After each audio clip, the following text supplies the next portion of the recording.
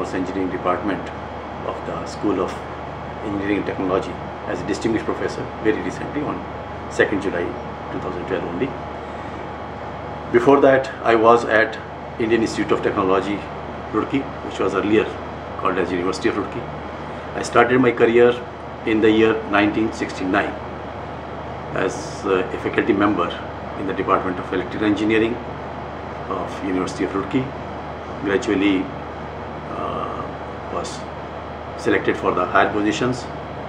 In 1980, I took a two-year leave and went to industry. I joined a Birla Group of uh, Industries as their R&D manager, and after two years, I returned back to University of Roorkee as a full professor, where I served uh, in this capacity for over 30 years before I finally retired on 30th June 2012.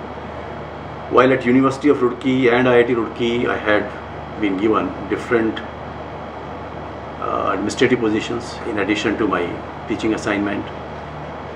For three years in 1991 to 1994, I was head of the electrical engineering department.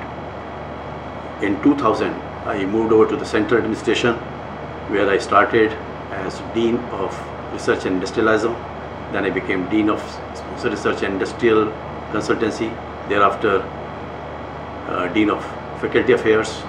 And in 2006, I took over as Deputy Director of IIT Roorkee. And at the time of my uh, superannuation in July 2011, I also worked for about a two month, sorry, for about a month time as official director because regular director had not taken over. While at industry, uh, I, I, I, worked as their R&D manager and also uh, was controlling their quality control department.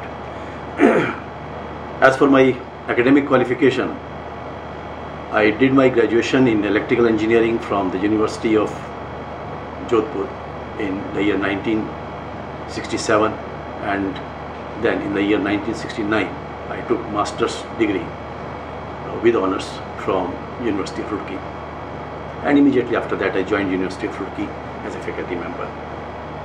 I cherished my interaction with industry. Uh, during the first few years I was visiting different industrial units to learn how they operate and how the engineering is practiced. Later on, starting in 1972 or so, I started giving consultancy to industry and by now I have provided these consultancy services to more than 150 industrial organizations or companies.